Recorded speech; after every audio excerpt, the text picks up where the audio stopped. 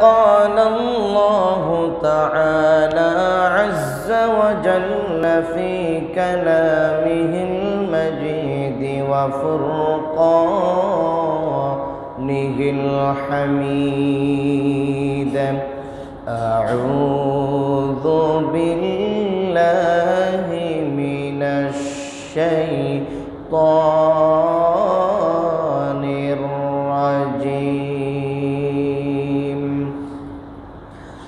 بسم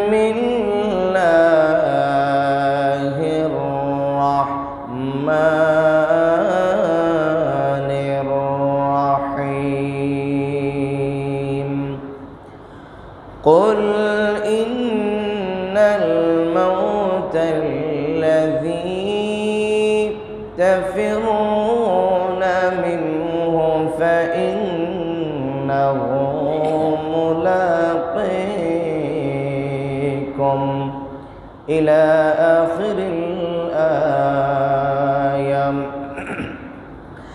إن الله وملائكته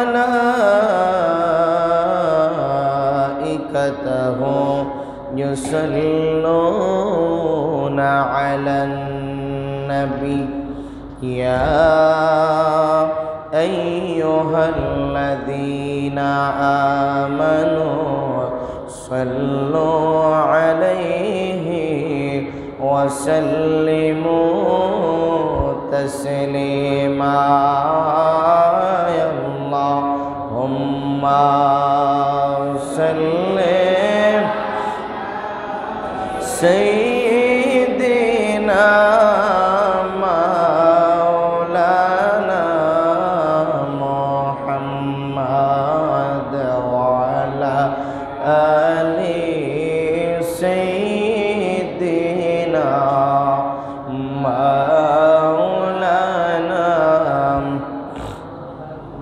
ভেবে দেখো মনে মনে প্রেম করস নবীর সনে ভেবে দেখো মনে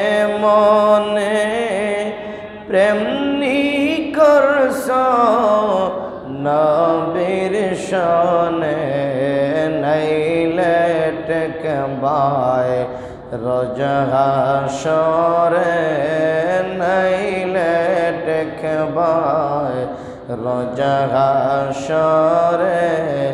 রসুল্লাহর সামনে আল্লাহ হুম্মা সাল্লি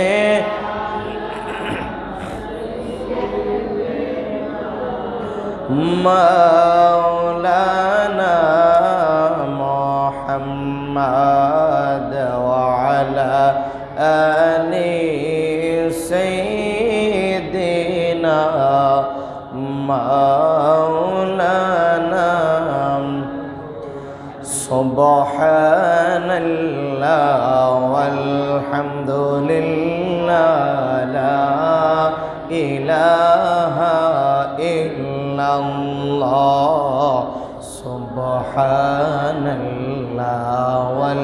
والحمد لله لا إله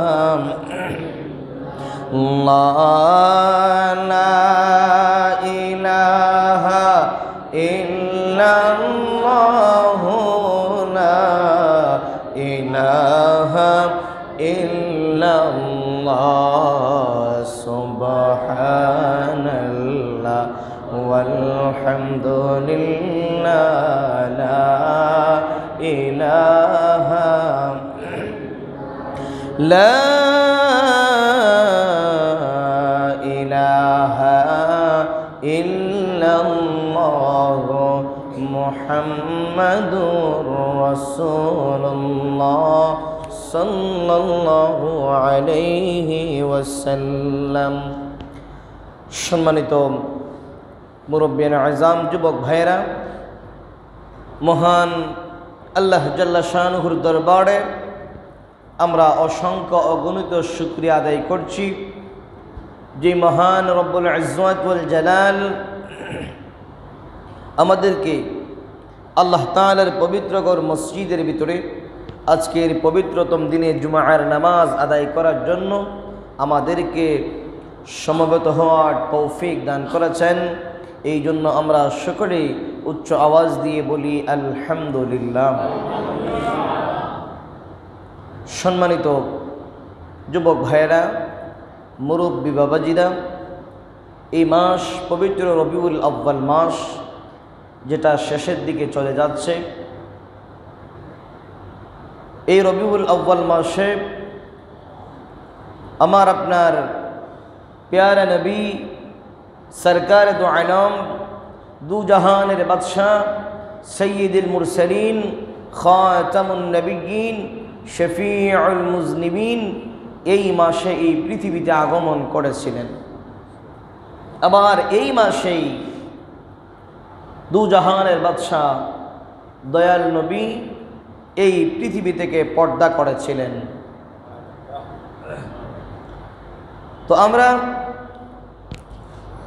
সকলকেই এই পৃথিবী থেকে চিরবিদায়, চিরনিদ্রা আমাদেরকে যেতে হবে। আমরা সকলকেই এই পৃথিবী ছেড়ে আমাদেরকে চলে যেতে হবে। কিন্তু যদি আপনি ভালো কাজ করেন, তাহলে আপনি ভালো কিছু নিয়ে যেতে পারবেন। যদি মন্দ করেন, তাহলে আপনি ভালো কিছু নিয়ে যাওয়ার আশা করতে পারেন না।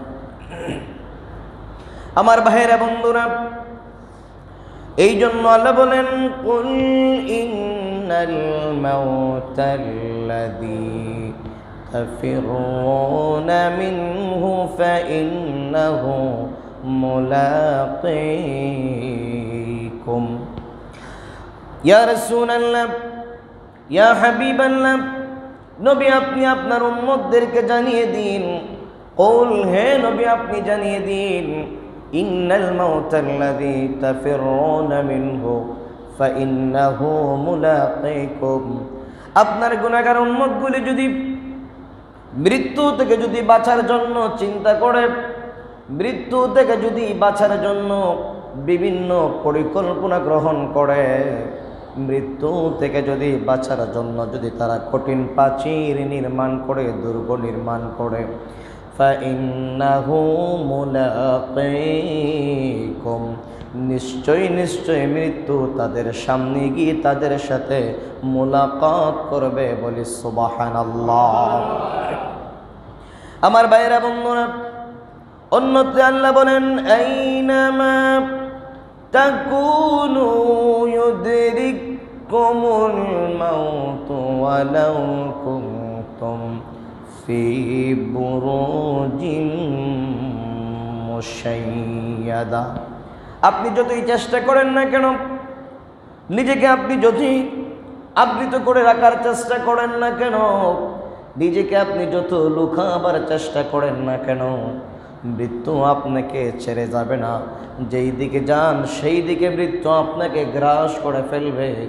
মৃত্যুর সম্মুখীন আপনাকে হতে হবে। চিৎকার দিয়ে বলি সোবাহান আমার ভাইয়েরা, বন্ধুরা, মৃত্যুর কোনো বয়স নাই, মৃত্যুর কোনো সিরিয়াল নাই।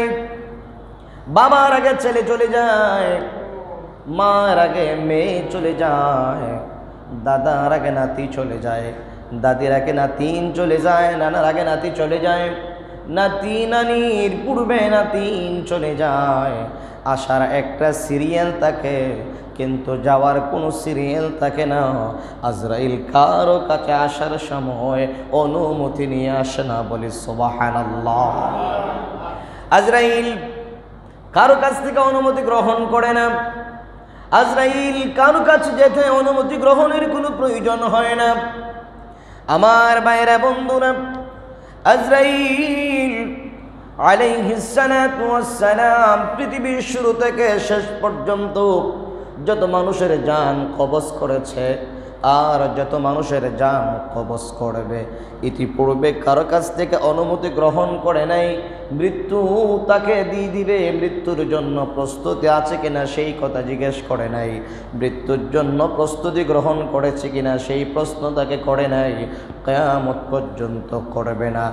কিন্তু একজনের কাছে মৃত্যুর জন্য জিজ্ঞেস করতে হয়েছে, ইনি আর কেউ নয়, ইনি হলো আমার আপনার নবী, হায়াতুন নবী, নূর নবী, জিন্দা নবী বলি, সোবাহানাল্লাহ।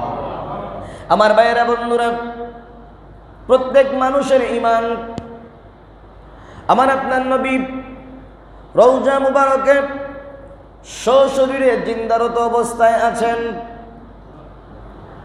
এই জন্য আমরা নবীকে হায়াতুন নবী বলি, জিন্দা নবী বলি। নবীজি রৌজা মুবারকে এখন পর্যন্ত জিন্দা অবস্থায় আছেন। কয়ামত পর্যন্ত যেমনি আছেন, এমনি থাকবেন।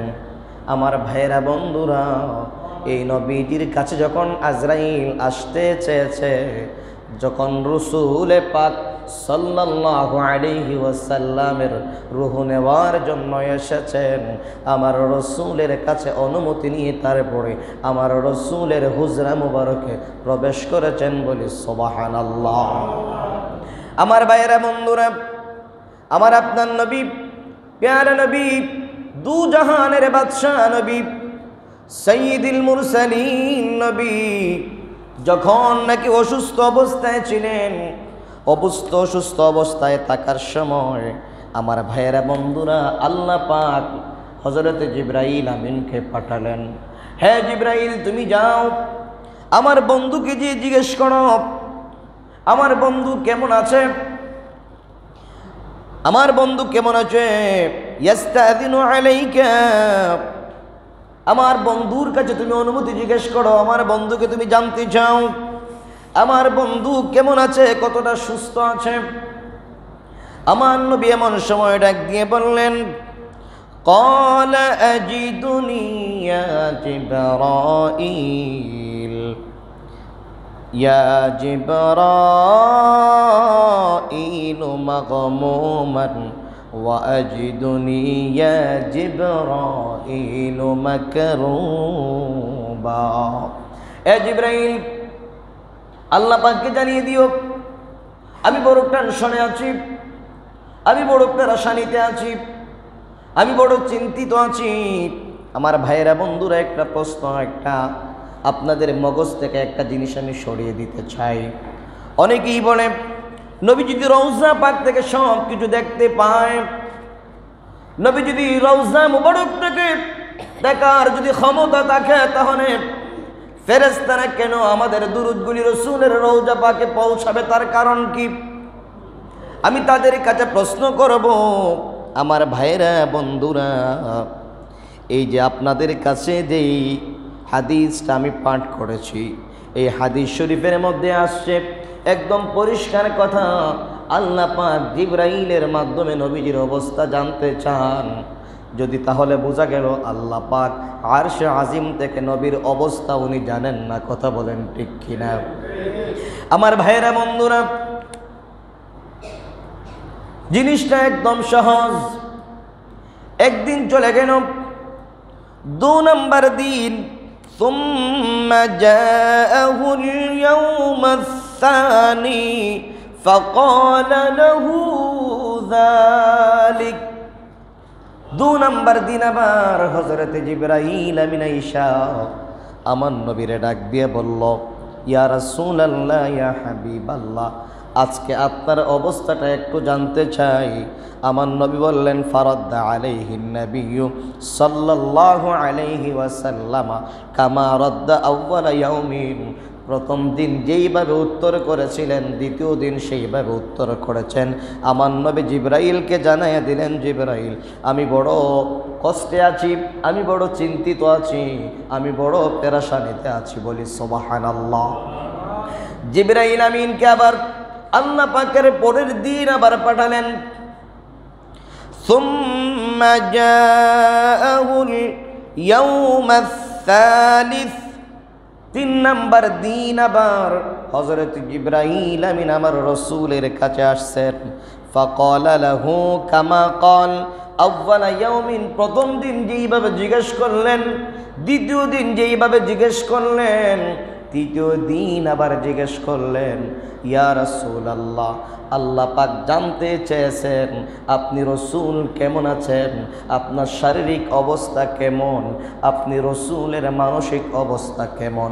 আমার নবী ডাক দিয়ে বললেন, জিবরাইল, প্রথম দিন আমি যেরকম টেনশনে ছিলাম, যেরকম চিন্তিত ছিলাম, যেই রকম ফেরাসানিতে ছিলাম, আজ পর্যন্ত আমি রসুল সেই ফেরাসানির মধ্যেই রয়ে গেলাম। বলি সুবাহান তাহলে বোঝা গেল, আল্লাহ পাক জানার পরেও একদিন, দুই দিন, তিন দিন জিজ্ঞেস করেছেন, জিব্রাইল আমিনের মারফতে রসুল আপনি কেমন আছেন? আপনি যদি অসুস্থ হন, মনে করেন আমি ইমাম অসুস্থ। আমার সভাপতি সাহেব একজন লোক ফাটাইয়া জিগাইল, জানে যে আমি অসুস্থ। এরপরে একদিন একজনরে ফাটাইছে। জিগাইয়া ও ইমাম সাহেব কিরম আসছে হইলাম যে আসি মোটামুটি। এর পরের দিন আবার পাঠাইছে যে ইমাম সাহেব রেগে জিগাইয়া ও ইমাম সাহেব কিরম আছে?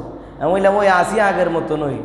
এর পরের দিন আবার পাঠাইছে জিগাইয়াও বলে ইমাম সাহেব কিরম আছে? মানে আমি ইমাম সাহেব হিসাবে এই সময় হইমো কিতা জানাননি বলে, সভাপতি কিতা, আমার লাগে এটা কিতা ওই মস্কর আরম্ভ করছে না তা। কিতা কই কথাটা কি ঠিক কিনা? বলে, বেটা, জানে আমি অসুস্থ। এর পর আছে দেখো জানে বুঝো আমার ডং করে বেড়ায়। কথা বলেন না কেন? আল্লাহ পাক একদিন, দুদিন তিন দিন রসুল, আল্লাহ পাক রসুলের অবস্থাটা জানার পরেও রসুলের দরবারে হজরত জিব্রাইল আমিনকে পাঠিয়েছেন যোগ রসুল, আপনি আপনার অবস্থাটা কেমন আছে? এর মানে এই নয় যে আল্লাহ পাক জানেন না, আল্লাহ পাক সব জানেন, সব দেখেন, সব বুঝেন। জিব্রাইল আমিনের মাধ্যমে জিজ্ঞাসা করার অর্থ হলো, আমার নবীজের পজিশনটা আরও বাড়িয়ে দেওয়া। আমার ভাইয়েরা, বন্ধুরা, আপনি আমি এমন এক নবীর উম্মত হয়েছি, যদি আপনি দিমাগটাকে একটু ঘুরিয়ে দেন, মুসা আলাইহি সালাম আল্লাহকে দেখতে চেয়েছেন, রব্বি আরিনি রব্বি আরিনি, আল্লাহ আমি তোমাকে দেখতে চাই। আল্লাহ বলেন, লাম তারানি, তুমি আমাকে দেখতে পারবে না। যাই হোক, আল্লাহ পাক হজরতে মুসা কালিমুল্লাহকে দেখার একটা ব্যবস্থা করেছেন। আমি সেই কথা বলতে চাই না। আপনি দেখেন, মুসা আলী সালাতামকে আল্লাহ পাক ওহি দিবেন। মুসাকে বললেন, তুমি তুর পাহাড়ে চলে আসো।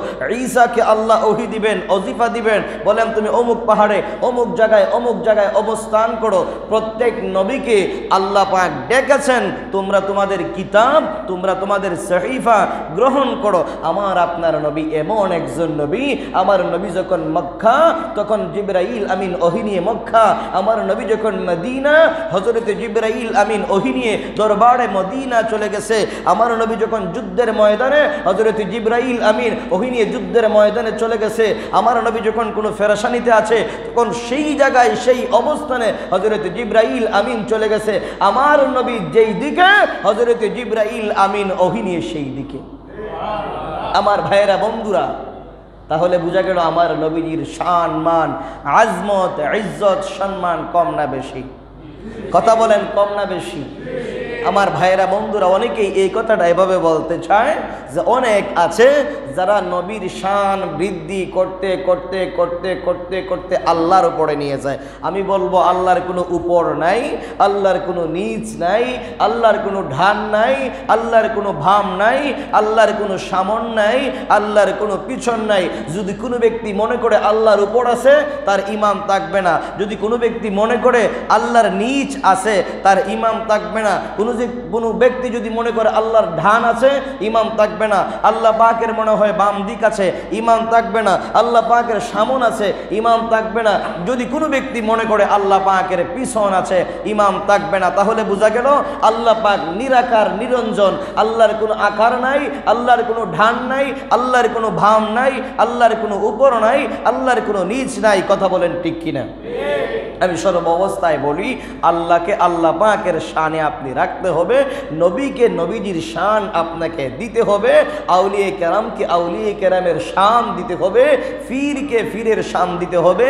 মা বাবাকে মা বাবার শান দিতে হবে। মই মুরব্বীদেরকে মই মুরব্বীদের শান দিতে হবে। বড়দেরকে বড়জার জায়গায় সম্মান করতে হবে। ছোটদেরকে ছোটদের জায়গায় রেখে স্নেহ, মায়া, মমতা, ভালোবাসা দিতে হবে। কথা বলেন ঠিক কিনা? আমার ভাইয়েরা, বন্ধুরা, যদি আপনি একটু উঁচু নিচু করতে যান, তাহলে আপনি বেয়াদবের কাতারে চলে যাবেন। মোয়াল্লিমুল মালা ইকা আজাজিল ফেরেস্তা আল্লাহ পাকের সৃষ্টি জগতে এমন কোনো জায়গা নাই যেখানে তার নাক এবং কফাল লাগে নাই, যেখানে সেজদা করে নাই। আজকে আমরা, আজকের এই ডিজিটাল জগতে আমরা ঢাকা থেকে বক্তা ভাড়া করে নিয়ে আসি পঞ্চাশ হাজার টাকা। ঠিক কিনা? কথা বলেন না। পঞ্চাশ হাজার টাকা দিয়ে আমরা বক্তা ভাড়া করে নিয়ে আসি। আমরা অনেকে নিয়ে আসছি। ঠিক এই আপনারা এই উদাহরণটা আবার কোন দিবে নিবেন আমি এটা জানি না। আমি এটা বোঝানোর জন্য বলছি। আপনারা যদি আবার বলেন যে বক্তাদেরকে আমি নিয়ে এই শতানের লোকে মিলাইছি, তাহলে হবে না।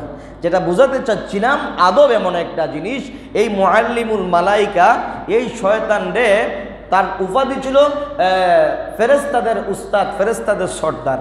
তারে মনে করেন দ্বিতীয় আকাশে, তৃতীয় আকাশে, চতুর্থ আপনার পঞ্চম, ষষ্ঠ, সপ্তম আকাশে তাকে দাওয়াত করে করে নেওয়া হতো। তাইলে তার সম্মান কম ছিল না বেশি ছিল? কথা বলেন, কম ছিল না বেশি ছিল? বেশি ছিল। সে কেন বিতাড়িত হয়ে গেল? বিতাড়িত হওয়ার পিছনে তার একটাই কারণ, আল্লাহ যখন বলেছিলেন, ওয়া ইদ লিল মালাইকাতি ইসজুদু লিআদামা ফাসাজাদু ইল্লা ইবলিস। আল্লাহ জানিয়ে দিলেন, তুমি আদমকে সাজদা করো। সে বলল, আল্লাহ, খলাক্তানি খলাক্তানি মিন নার ও খলাক্তাহু মিন তিন। আল্লাহ, তুমি তো হেরে বানাইছো মাটি দিয়া আর আমারে বানাইছো আগুন দিয়া। খলাক্তানি মিন নার শব্দের অর্থ হচ্ছে আগুন। আপনি আমার আগুন দিয়ে বানাইছেন আর আপনি তারে বানাইছেন মাটি দিয়া। আল্লাহ আপনার মাথায় এই কথাটা ধরলো কেমনে? যে আমি তারে সেজদা দিতাম। নাউজুবিল্লাহ হইতেন না? সে আল্লাহ পাকের কাছে যুক্তি পেশ করল যে, আল্লাহ দেখো আগুনের একটা প্রভাব হচ্ছে সেটা উপরের দিকে উঠবে। আগুনের একটা প্রভাব হচ্ছে উপরের দিকে উঠবে। আপনি আগুনকে যতই ধামা চাপা দেওয়ার চেষ্টা করেন, আগুন কি নিচের দিকে যাবে? কথা বলেন, আগুন নিচের দিকে যাবে? সম্ভবই না। আর আপনার একটি মাটির চাকা নিয়ে একটা উপরের দিকে একটা ঢিল আপনি ছুড়ে দেন। দেখবেন সেটা আপনার যতই উপরে যায় না কেন, আবার আস্তে আস্তে সেটার প্রভাব নিচের দিকে চলে আসবে। কথা বলেন ঠিক কিনা? এই জন্য আমরা দেখবেন মই মুরব্বীদের একটা কথা থাকে যে, তুমি বাবা মাটির মতো হয়ে যাও, মাটির মানুষ হয়ে যাও, মাটির মতো চলাফেরা করো। কথা বলেন ঠিক কিনা? মাটির স্বভাব হচ্ছে এই, আপনি মাটি, মাটিতে আসতে হাঁটেন, আপনাকে মাটি কোনো কিছু বলবে না। মাটিতে আপনি দৌড় মারেন, মাটি আপনাকে কোনো কিছু বলবে না। মাটিতে আপনি কুদাল দিয়ে, খন্তি দিয়ে, কুড়াল দিয়ে আপনি আঘাত করেন, আপনি মাটি আপনাকে কোনো কিছু বলবে না। মাটি তো মাটি মাটি আপনার জন্য একদম চিরস্থায়ী হয়ে গেছে। আপনি যাই করেন, যা আপনি করতে চান, সব মাটির গায়ে আপনাকে সয়ে নিবে, কথা বলেন ঠিক কিনা? কিন্তু আগুন কিন্তু সেটা আপনাকে ছাড় দিবে না।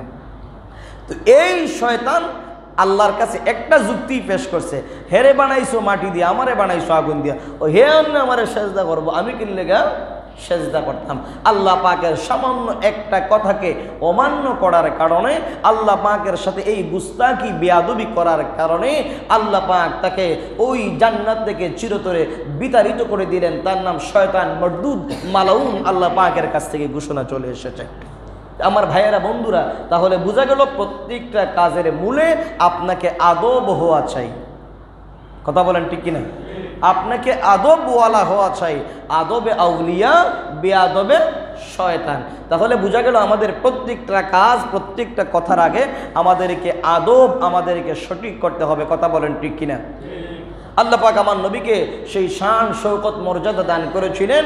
হজরত জিব্রাইল আমিন সর্ব অবস্থায় আমার নবীজির খেদমতি ছিলেন। আমার নবীজির শান শৌকত আল্লাহ পাক বাড়িয়ে দিয়েছেন কমান নাই। আল্লাহ পাক নিজেই ঘোষণা করেছেন ওরফানা লেখা বিকরাক নবী গো, আপনার শান, মান আমি বৃদ্ধি করেছি, করব এবং কেয়ামত পর্যন্ত যতদিন এই পৃথিবী থাকবে, ততদিন আপনার শান শৌকত চলতেই থাকবে। সুবহানাল্লাহ। যতদিন আল্লাহ পাকের নাম থাকবে ততদিন আপনার নাম থাকবে। আমার ভাইয়েরা, বন্ধুরা, আপনি মনে মনে ভাবতে পারেন যে রসুলের শান আমি গাবো না, রসুলের উপর আমি দুরুদ পাঠ করব না, রসুলের শান, ইজ্জত, আজমত আমি বর্ণনা করব না, রসুলের উপর আমি দুরুদ শরীফ পড়ব না, রসুলের শানে আপনি মিলাদ পড়বেন না, আমি পড়ব না। আল্লাহ বলেন, রসুল বলেন, তাতে আমার কিছু আসে যায় না। দুনিয়ার মানুষ, তোমরা জেনে রাখো, তোমরা যদি আমার বন্ধুর উপর একবারও দুরুদ না পড়ো, একদিনও দুরুদ না পড়ো, জীবনের শুরু থেকে শেষ পর্যন্ত যদি একটি বার, একটি মুহূর্তের জন্য আমার রসুলের উপর দুরুদ না পড়ো, আমার রসুলের উপর দুরুদ পড়ার জন্য আমি আল্লাহ পাকি যথেষ্ট।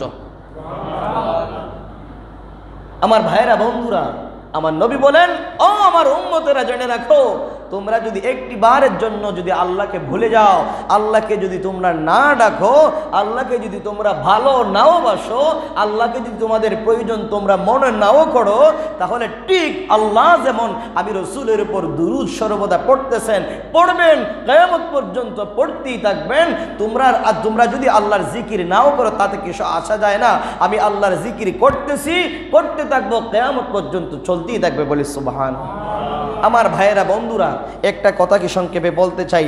দেখবেন যখন দুজনের মধ্যে একটা গভীর একটা সম্পর্ক হয়ে যায়, দুজনের মধ্যে গভীর একটা সম্পর্ক হয়, সম্পর্ক হইলে দেখবেন কি তখন আমি সংক্ষিপ্ত করে আমাদের গ্রাম্য উদাহরণটা দিয়ে আমি বোঝাতে চাই। তখন দেখবেন ছেলে এবং মেয়ের মধ্যে একটা প্রেম সম্পর্ক হইছে।